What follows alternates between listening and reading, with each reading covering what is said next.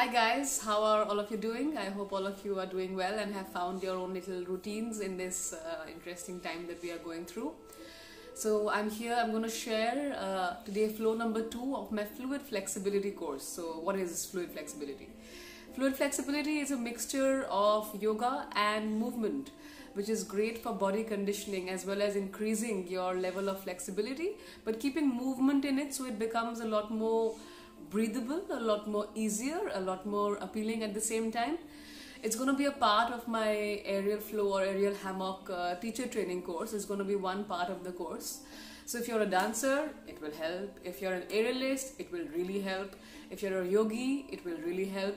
And I look forward to flowing with you. Let's get started. Alright guys, let's uh, start with the breakdown of the fluid flexibility flow number two.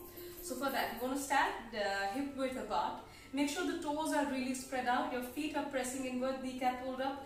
Inner thighs are almost slightly rotating towards each other. Abdomen tucked in. Roll the shoulders back. Keep the chest alive. Yeah. So now I'm going to inhale, cross my arms in front of my chest. Come to a come to a position where I bend both my knees and then contract, exhale.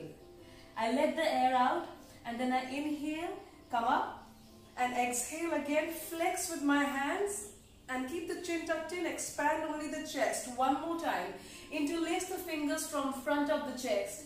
Try to press the air down and then gather the air to round your abdomen and then push the palms back to lift the ribs up and expand your chest and come back. From here, you bring your arms up next to your ears as you inhale. I'll go to my profile so you can see me better.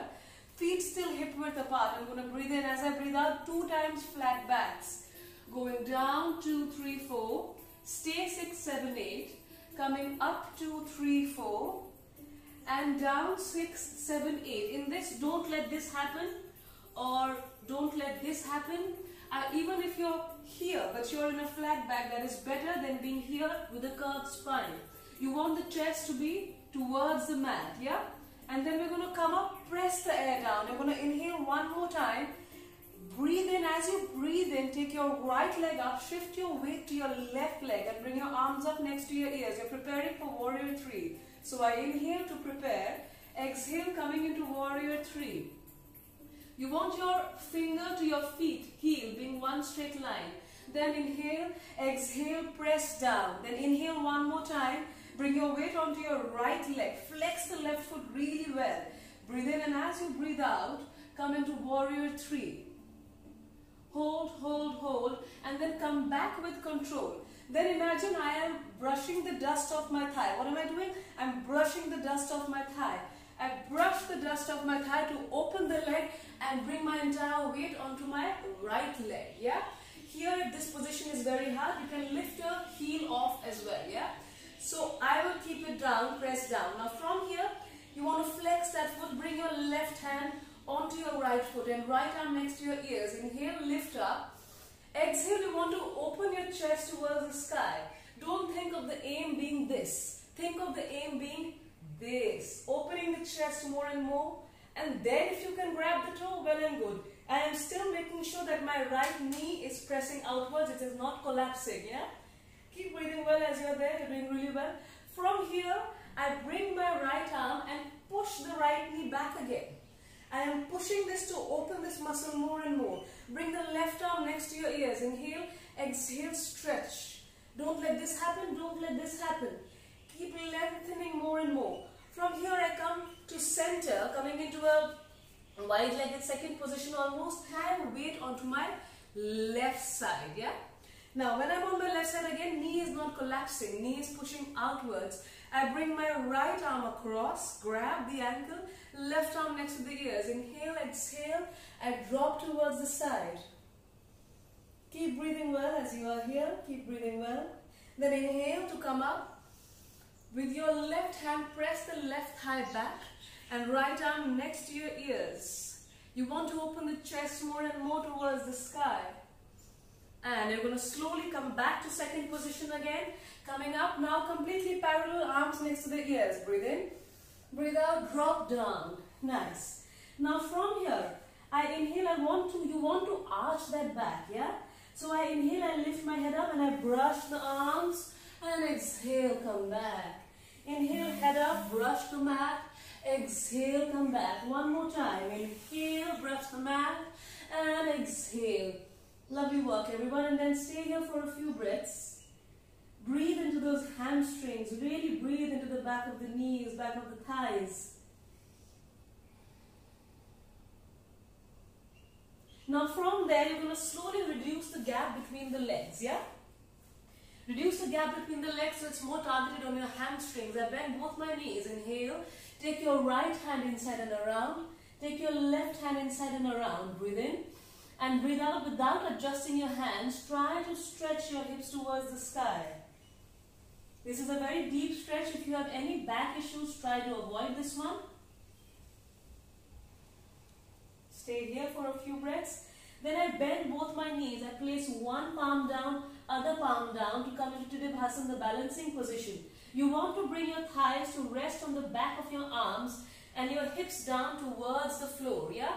From there, resistance between the thigh and the arm, I slowly lift both the legs up. And then abdomen tucked in to come back, yeah? From here, I will come into a tripod. Adjust yourself a little bit so you're still on the mat. I bring my hands again, very important, in tripod. Wrist to elbow has to be one straight line. You can try tripod against the wall first before you feel, if you feel you're uh, not confident of this one. I place my head down on the mat. Yeah. From here, if you feel that this is too difficult, place two blocks under your feet to elevate you. Yeah. Again, now from here, abdomen tucks in to lift the legs open and going all the way up into tripod.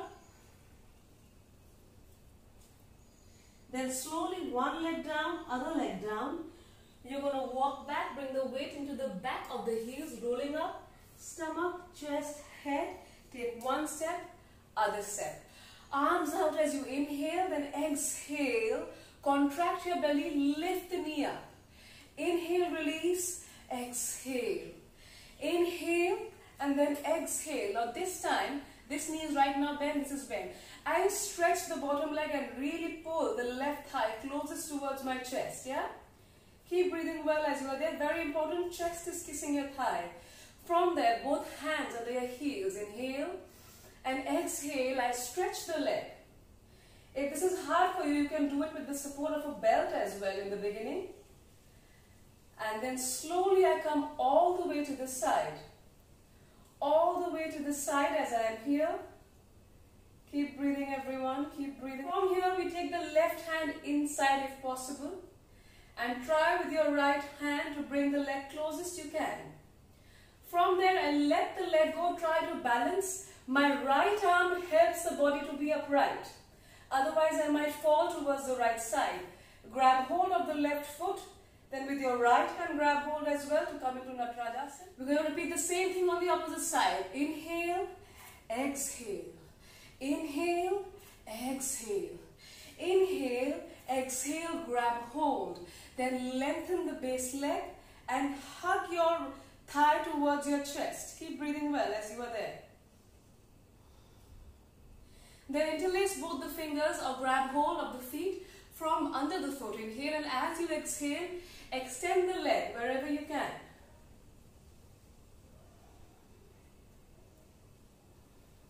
Then slowly bring it all the way side. Wherever you can is fine. This is fine, this is fine. Wherever your flexibility permits. Then lengthen the opposite arm and try to grab hold of the foot. Bottom leg is still very strong. Take your hand inside and around. Balance here. Then you will let the hand go let the foot go. Your left arm is still reaching up, helping you to keep the body up. Helping you to keep the body up. And then grab hold of both the of the feet with both the hands.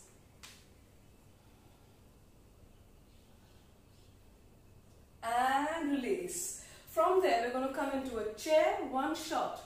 Slide back down, sit down. We're going to take a slight bounce to come up into a balancing pose, almost like a boat pose. From here, four times we're going to do a little bit of ab, ab work. Inhale, don't let the head touch the ground. Exhale, come up. Inhale, go down. Exhale, come up. Inhale, go down. Exhale, come up. Inhale, go down. Exhale, come up. Now, interlace your fingers around. Either grab the outside of your elbows or your forearms or your wrists depending on how you're feeling. Then really try to press your chest towards your thighs again. Yeah, Find balance here. Keep your gaze fixed on an unmoving object and keep breathing well.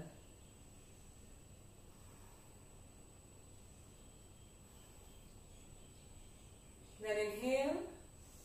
As you exhale, try to lift the legs up.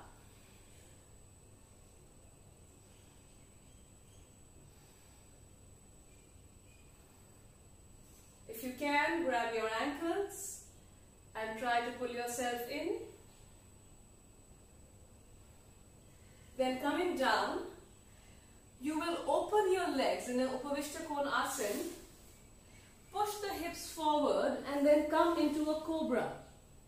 Watch that again. If that is too hard for you, you can just, from here you are here, bend your knees and come into Now from there, from the Shashankasana, you try to come out your elbows, yeah? To try keep the palms and fingers really, really active. I push into a mountain. Few times just to warm up the shoulders. Take the weight forward, back forward, back, forward and stay here. Now really press the shoulders away. Then start walking forward with your toes. Create a vacuum in your belly. Lift one leg. Come back down into a half bridge pose. Relax down. Hug your knees to your chest. And release. Good job guys. Let's try the entire flow without a break, trying the entire thing together. Let's give it a shot.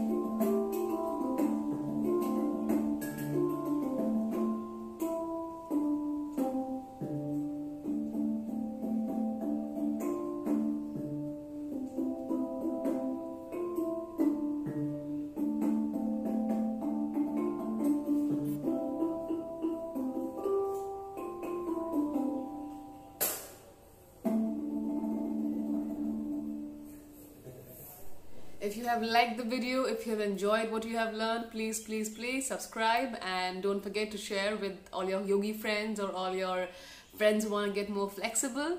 Thank you so much for your time.